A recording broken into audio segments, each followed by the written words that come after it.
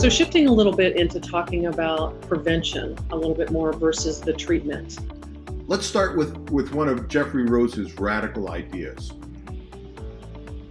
Rose had this radical idea that there's no reason that people in any one country couldn't be as healthy as those people in the healthiest country. Something like hypertension is not inevitable. We develop hypertension, we develop uh, coronary heart disease, we develop cancers because of the environments that we've lived in, the environments that we have created.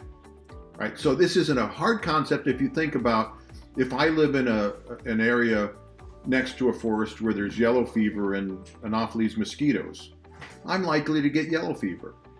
If I don't live in that area, I live in Chicago where we don't have uh, yellow fever circulating, I'm not going to get it. Well, the same is true for industrializing diseases.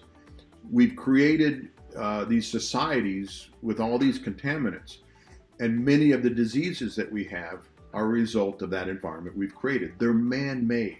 I mean, that's a radical idea in itself. Mm. Most of the chronic diseases that we suffer from, that we die from, are man made.